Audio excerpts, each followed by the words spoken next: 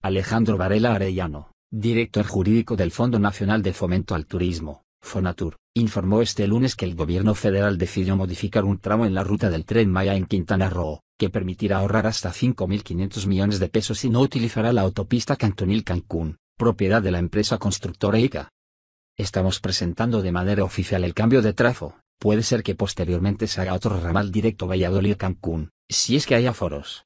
No tiene nada que ver la negociación con ICA, sino con temas técnicos, económicos y de desarrollo social. No es por conflictos en la negociación con la empresa, comentó Varela Arellano.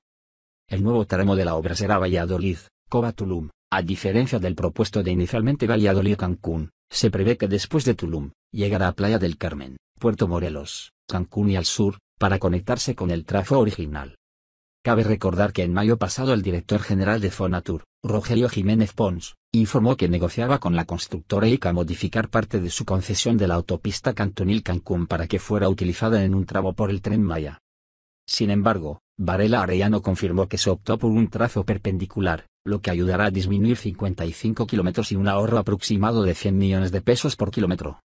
El funcionario aclaró que con este cambio no se tienen problemas en los derechos de vías, existen carreteras estatal y federal, y líneas de alta tensión, aunque sí se llevarán a cabo estudios ambientales y de gestión social. social.